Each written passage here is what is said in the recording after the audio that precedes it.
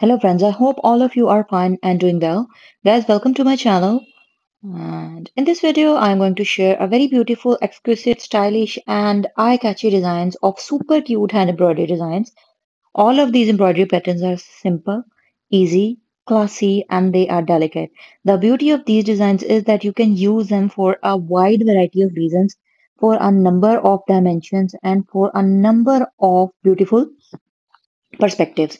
That is, we are going to start one by one that how you are going to use these patterns for which type of styling and designing. And then we will talk about the material being used to make these patterns.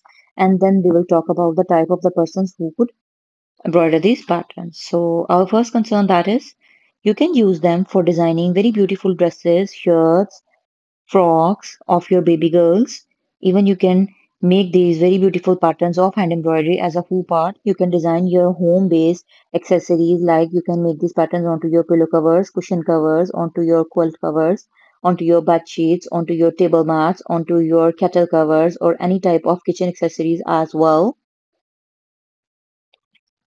So the scope is not only limited to this, you can also use these very beautiful patterns to design girls' fashionable accessories like face masks. You can also make these beautiful patterns onto the face masks to stay protected from pollution, air, and different type of viruses. And at the same time, you would look classy as well.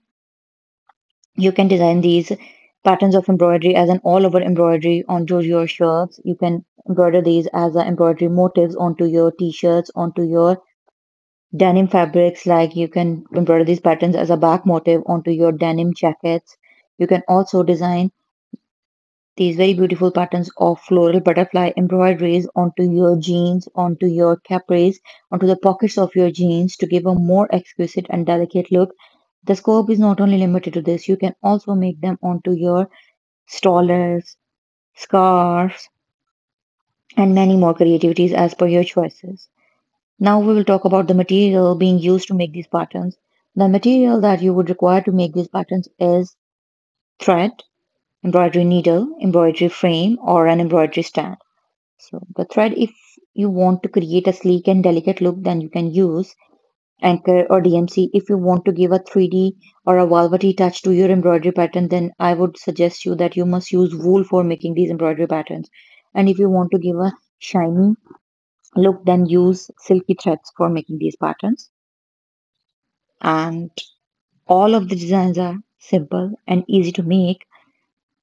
So hand embroidery beginner, hand embroidery artist, and hand embroidery professionals. All of these persons can surely make these very beautiful and pretty designs.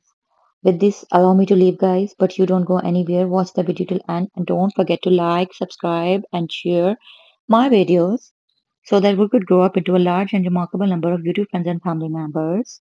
Guys, with your love and support, we have reached at this level, and with your love and support, we can attain a remarkable number of YouTube friends and family members. So with this, allow me to leave and stay tuned for the more upcoming videos. Don't forget to leave comments in my section of comments and mention the name of your country